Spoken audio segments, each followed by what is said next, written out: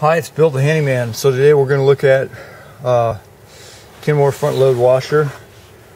And so they have a couple different styles. This one's got the console on the top. Some of them have the console on the front, like this one.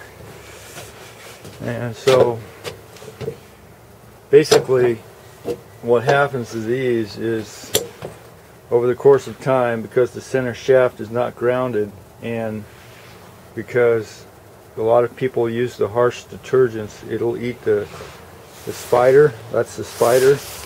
I actually pulled the spider off that one because that one had a uh, good spider but a bad bearing.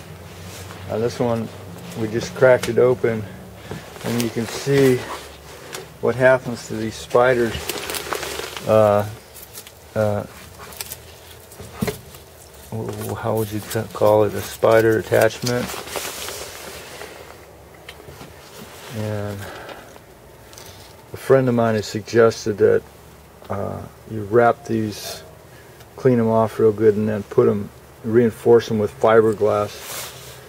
Um, so what we're going to do is we're going to put that spider, that good spider on the back of this one,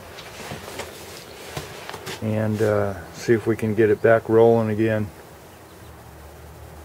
And so if you need any appliances repaired, give me a call, 707-443-8347.